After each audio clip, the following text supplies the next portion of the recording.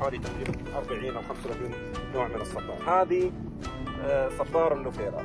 طبعا في صبار جبناه من المنطقة في صبار هذه صبار من المنطقة هذه اللوفيرا. طبعا اللوفيرا هي ملكة الصبار إذا جاز التعبير تستخدم عدة عدة استخدامات. بما يخص التجميل، الطب، الأمور كثيرة حقيقة ليس المجال لحصرها وذكرها ولكن إن شاء الله نوعد الجميع سوف يتعرفون على فوائد الصبار، حتى بل أنا شربت عصير الصبار وايس كريم الصبار فضلا عن حلا الصبار بالذات اللوفيرا لأن لها استخدامات كثيرة. انواع الثانية الصبار اللي تشوفونها الان آه، انواع مختلفه، إحنا الآن قرابه الهدف إن شاء الله نصل إن شاء الله إذا الله يسر نصل إلى تقريبا إلى 5000 أو 6000 مبدئيا نوع من الصبار بإذن الله.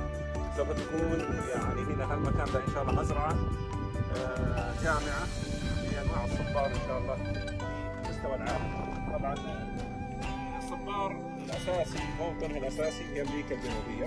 هو موطن اساسي ولكن موجود في أمريكا موجود في آسيا موجود في الجزيرة العربية بالذات المناطق الجنوبية الغربية ولكن أنواع محدودة يعني ليست كثيرة.